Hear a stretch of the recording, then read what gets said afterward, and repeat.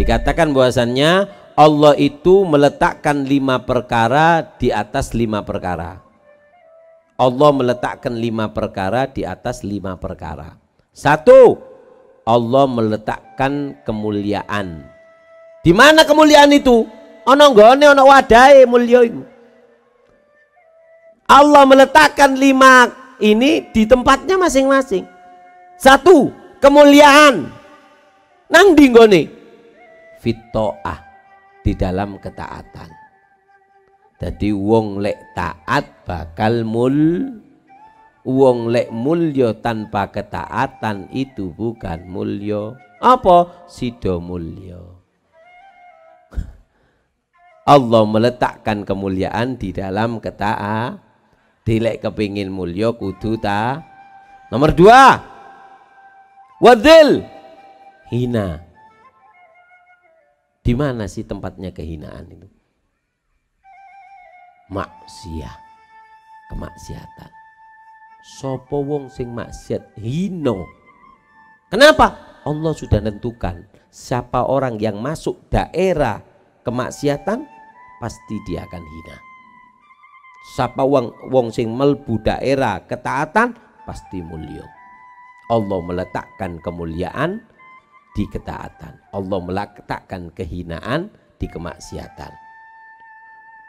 Dan yang ketiga Allah meletakkan haibah wibawa. Sapa wong sing wibawa yu? Fi mulil. Tangi bengi. Wong lek tangian bengi iku wibawa. Terus hikmah, ilmu, kata-kata bijak. Orang yang mengeluarkan kata-kata bijak itu kapan? Di mana tempatnya? Fi batnil khali. Di perut yang lapar. Uang lewat tengi luwe.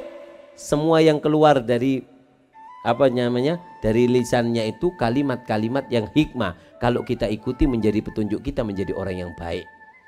Jadi wong hikmah itu dari mana?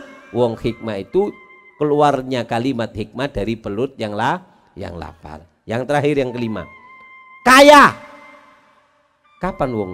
Di mana Allah meletakkan kekayaan? Qanaah, menerima. Sopo wong sing nrimo paparinge Allah iku wong sugih makyo melarat. Sopo wong sing gak nrimo melarat makyo sugih. Allahumma Ahmad dadi limo. Keta kemuliaan ada di ketaatan, kemak apa kehinaan ada di kemaksiatan, wibawa ada di ada di Qiyamul kalimat hikmah, kalimat yang baik keluar dari perut yang lapar. Yang kelima adalah kekayaan adanya di sifat menerima daripada takdir Allah. Opo sing diono nang sampeyan trimon bakal suki. Allahumma sholli ala Muhammad.